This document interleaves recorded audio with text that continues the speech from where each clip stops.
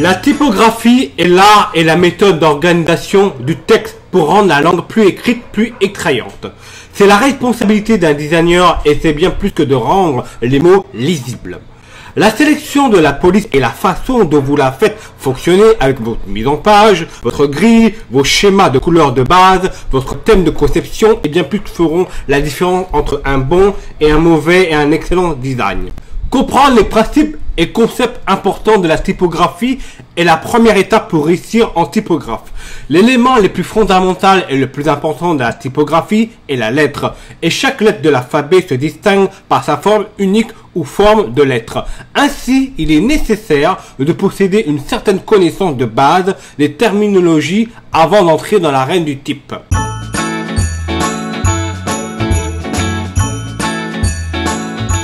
Ligne de pied. Ligne imaginaire sur laquelle s'alignent les caractères.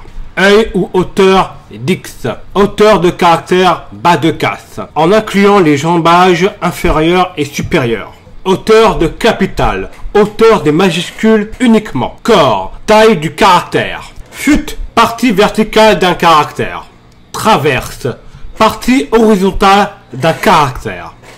Diagonale. Partie inclinée d'un caractère.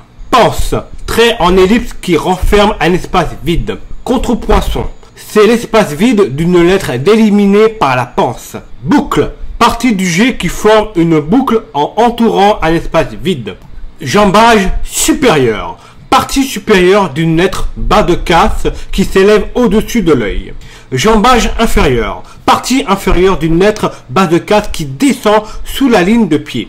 Délié de jonction, très fin qui relie par exemple la pente du G à sa boucle. Empattement. Petit trait qui prolonge les extrémités des traits droits et obliques des lettres. Plein. Partie plus épaisse du caractère. Délié. Partie plus fine du caractère. Angle d'empattement. Liaison plus ou moins écurvée entre l'empattement et le fut. Axe oblique.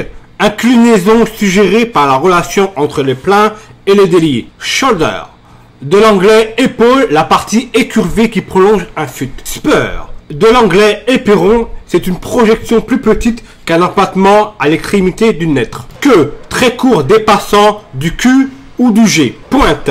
Désigne l'extrémité d'un triangle coiffant le A capital. Spine. De l'anglais colonne vertébrale, c'est de la courbe de la lettre S. Les conceptions graphiques sont destinées à montrer n'importe quelle marque d'une manière visuellement effrayante. Ils doivent être extrêmement convivieux et cela rend l'objectif de la typographie essentiel pour une conception. La typographie donne vie aux lettres dans votre conception. Cela a un grand impact sur la façon dont les designs sont reçus par les gens. Il solidifie toute l'image de marque et combine l'art et la science pour donner le meilleur effet à vos créations. Alors assurez-vous que vos idées de conception innovantes sont utilisées à l'aide de bonnes décisions typographiques.